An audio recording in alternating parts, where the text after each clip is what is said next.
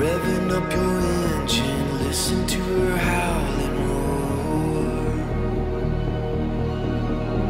Metal under tension, begging you to touch.